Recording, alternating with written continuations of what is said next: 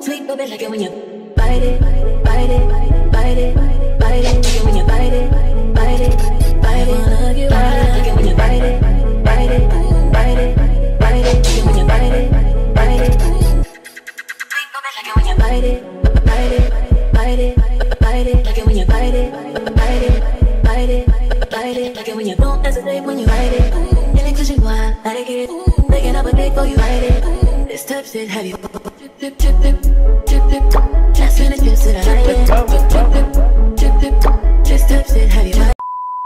What's good you guys? Welcome back to my channel. So today is a Wednesday and I'm very excited to be starting off this video because today I'm getting my hair done and I'm getting it done for a very special reason.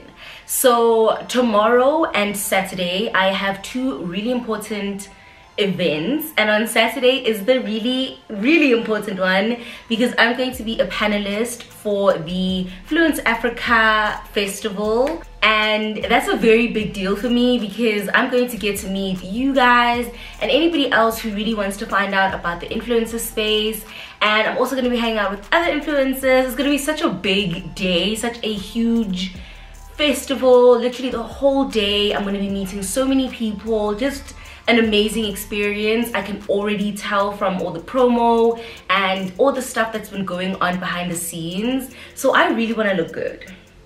I want to make sure that I look good and I made sure that I picked a really nice hairstyle for this uh, coming Saturday. I am going to be going in with a 22 inch frontal. It's gonna be bone straight really beautiful really simple and it comes from miss coco hair. So shout out to them. I am so excited to go straight. I haven't gone straight in i've been a curl girl. If you if you've been like watching when i finish with the braids and my pondo season i went straight for the curls. So i'm gonna be going straight you know and i'm excited for that because i haven't also gone long and straight in a minute. So if you follow me on instagram and you watch my stories then you saw i was going on and on about how i'm going in in my next hairstyle. I've already started brainstorming planning and this is her. This is her okay? The straight bust down this is her okay so yeah i'm excited for this one my inspo is very simple i want a middle part straight bust down i'm not sure if i want to do baby hairs i will say that I'm not sure. I am gonna go and take you guys with me. I'm gonna get it installed at a professional salon. April is back, you guys. My girl is back and she's gonna slay me. She's gonna slay me for these two events and i'm i'm hype so if you are interested in getting yourself a new bust down a new straight frontal then i will have the link to miss coco hair in the description box. I'll have the link not only to the exact hair that i'm going to have on my head from the cap construction to the lace and length but i will also have the link to miss coco hair so that you can go on there shop around and see what you like from them. If you are not in your bust down season if you're still in your curl phase or entering your curl phase then i will have that link for you guys. So i don't want to be late. What time is it? My appointment is for one. I'm actually not doing bad on time. I should leave right now. So yeah let's go and let's get slayed all right you guys. So then we got started and basically she was pushing back my hair to make sure that none of it got stuck in the glue. I showed her what i wanted and then we cleaned off my forehead using some rubbing alcohol. And the stocking cap method is what we use to basically line up the hair. And we adhered that to my head using the got2b spray. I find that the spray is just so much lighter and better than the gel for the stocking cap because we are doing the ball cap method you know so after that we just dried off the glue. And when the glue was dry we cut off the excess basically this excess stocking cap. And made sure that none of that was going to go into the lace. And then she fitted on the wig first on my head just to line it up and make sure that we were cutting the ear tabs in the right place. The plucking job that she did was exceptional. She said that the lace was really soft and it was easy to pluck, and that is a big thing because sometimes the knots on a lace are just too thick.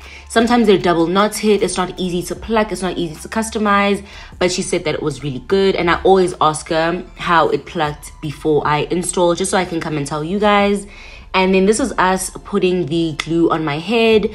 After it has adhered, we put the makeup on the lace just to make sure that it blends in nicely and wherever she feels it needs a little bit more glue she will spray the Got2b spray and then put the elastic band on my head. And this is basically what melts the hair. So then I did want a middle part. So we are working on the part over here.